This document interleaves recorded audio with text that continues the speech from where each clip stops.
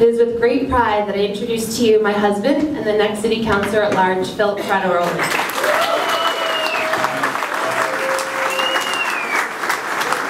My incredible new wife, love you so much. Uh, Thank you for that. Before I begin, I just want to take a minute to thank everybody who helped me collect signatures, and a lot of you guys are here. Uh, We ended up with close to 2,200 signatures, and um, and I couldn't have done it without your help getting on the ballot. So before anything else, I just want to thank everybody here who collected signatures.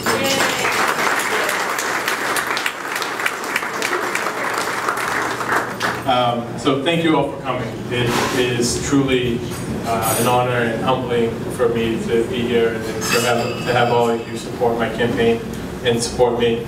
Uh, Tonight, we're in a room that started a lot of political campaigns, and I'm very privileged to join a long list of, of North Enders that aspire to make Boston and the Commonwealth and the country a better place.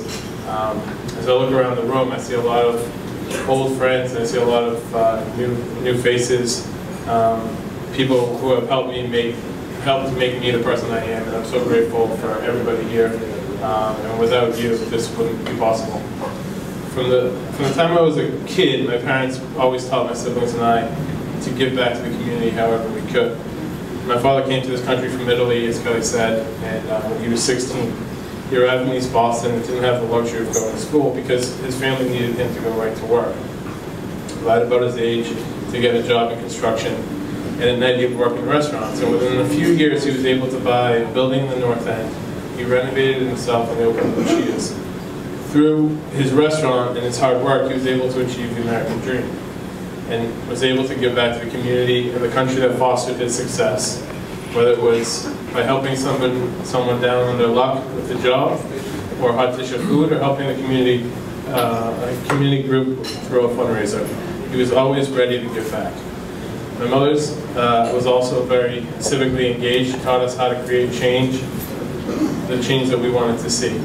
She served in local government and, was successful so, uh, and was successful in fighting the closing of our elementary school when I was a kid. When I was diagnosed with a brain tumor when I was 18, she raised over $60,000 for Mass General Brain Tumor Center so that other families wouldn't have to face the same kind of cho- choices that we did.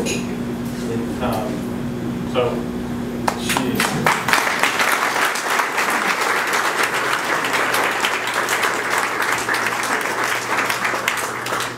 My uncle Donato uh, is the founder of the Taste of North End. In the last 20 years since he started, he's raised over a million dollars for local charities.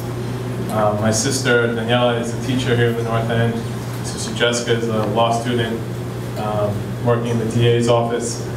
And it's their example that, that serves as the inspiration for my campaign for Boston City Council. Um, I'm running because I want to serve my community. I want to bring a new generation's ideas to City Hall along with a small business person's discipline. I will fight for better schools, for more efficient, responsive, and transparent government.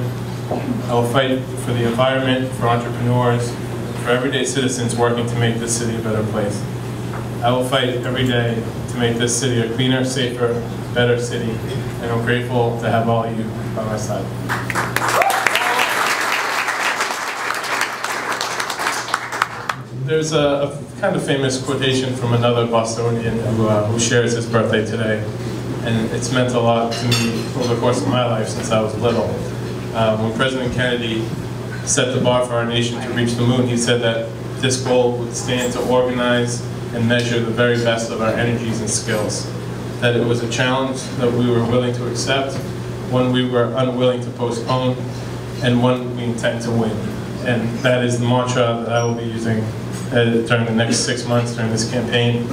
Uh, with you and your support and your help, we will win. And I thank you all for coming.